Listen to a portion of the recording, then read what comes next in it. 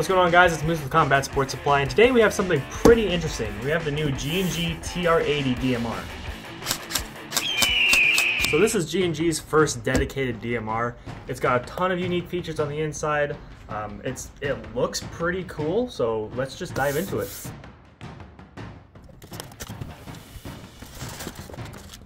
Alright, starting off, you got your G&G catalog, bunch of stuff to drool over, a product warranty with QR code, the manual for the TR80, how to operate it, of course, our Combat Sports Supply QR code.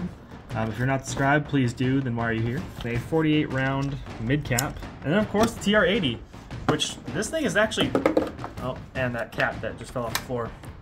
Interesting stock, metal handguard, polymer receiver. I actually like that. I like how the barrel is exposed. Not too many DMRs have that. It's always at the the end of the handguard where this is kind of it gives me like a, a HTI Desert Tech, you know, style. It's interesting. I like it. We're gonna get into the internals, what makes this gun really, really nice.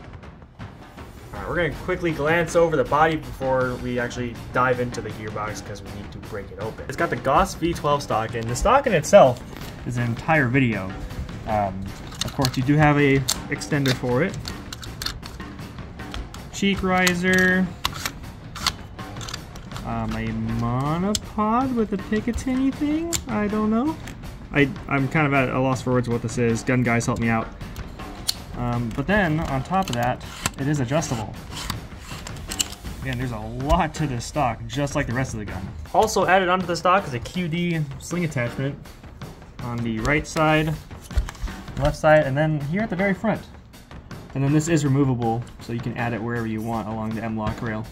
The stock even folds. For a DMR, I find that a little weird, but that's just me, because the rest of the gun is so long. Personal opinion. Moving on to the receiver. It's got an iFRIT 25K motor, uh, ambidextrous selector switch, and mag release. But then it does have a bolt release on the left side. And this is kind of a big deal with the selector switch. It is a dedicated DMR, so it can't go into full auto. There's not even a full auto function. But you get this nifty remote. It does have a full auto function on it. And that whole system there is what makes this gun very unique, and that's what we're gonna get into next. So you're gonna have to keep watching. Opening it up, what? There's no hop up. That's because it's integrated with the gearbox system. Um, and it's pretty cool because the hop-up adjustment is at the front of the gas block at the front of the gun. Um, so with that being said, with the hop-up being part of the gearbox, it makes for better compression for the shot. Right, left, left. Ah, you get it. So after consulting with the nerds here at Combat Sports Supply, we have in fact found out that it uses G&G SR25 mags. It does come with iron sights. Um, it, of course, they're the G&G peephole.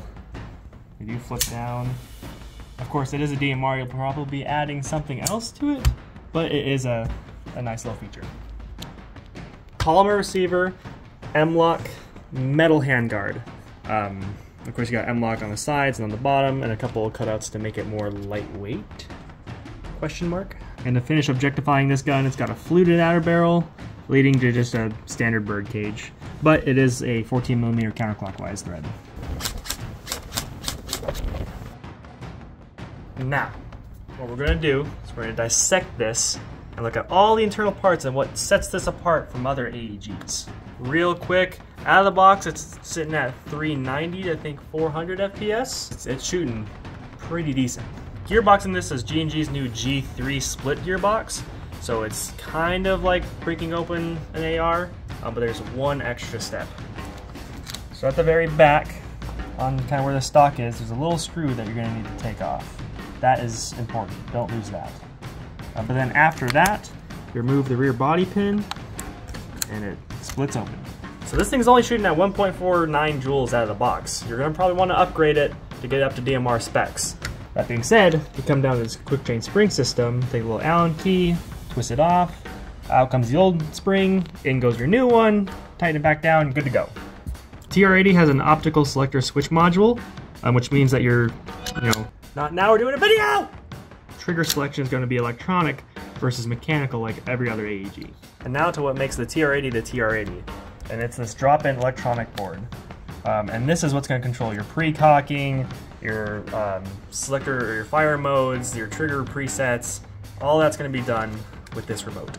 And this is the master key to your gun. This thing controls your internals. No other gun does that, I don't think. Maybe. Probably not. This is it. So there's a couple different buttons on here as you can see. Um, of course you got all your selector or your fire modes, 3 round burst, 5 round burst. After those you got your trigger settings, your functions which helps with the, the pre-cocking, um, all the different kind of trigger pulls. Um, and of course you get to your self-diagnostics. If you can pre-cock it, you can decock it.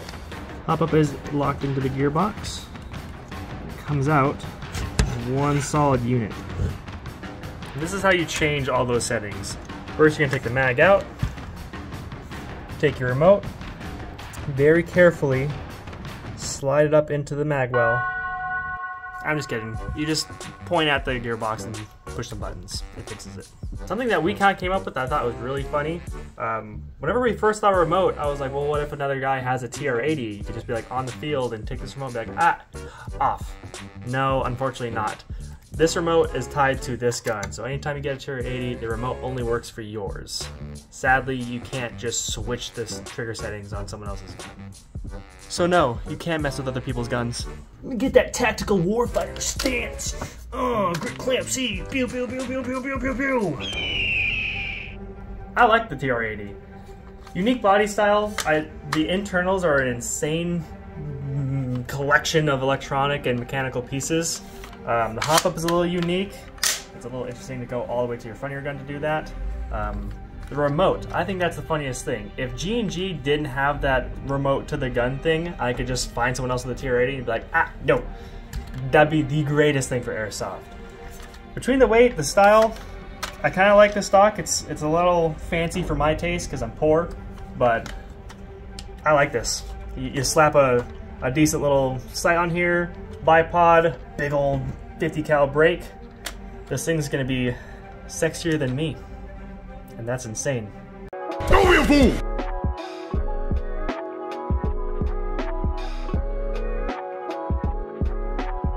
Beep, beep, beep, beep, beep, beep. Beep, beep, beep. Wait a second.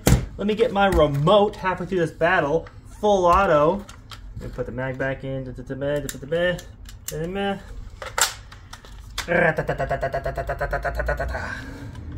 DMR.